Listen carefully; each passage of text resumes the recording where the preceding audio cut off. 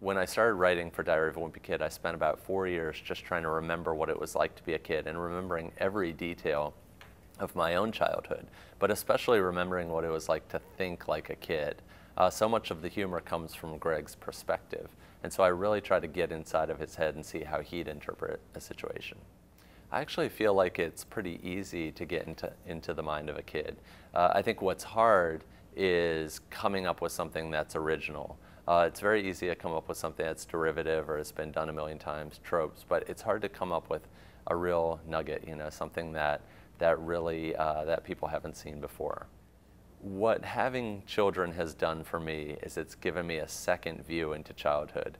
I feel like I've sort of tapped out my own childhood in, in my memories and my regurgitating of my childhood with my, uh, with my siblings and my friends.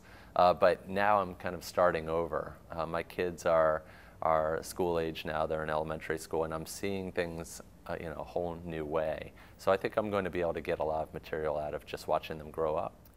I do show my books to my kids early on. My younger kid isn't really into them yet, but my older kid, uh, his name is Will, I read my new book to him over the course of about five nights, and it was really a treat for him to be the first child to, uh, to read this book and he laughed or stayed silent. You know, sometimes kids really take Greg's exploits at face value. And so they don't even see the humor in it. They just are sort of intensely into the book. Um, so it's been neat to see it from his point of view.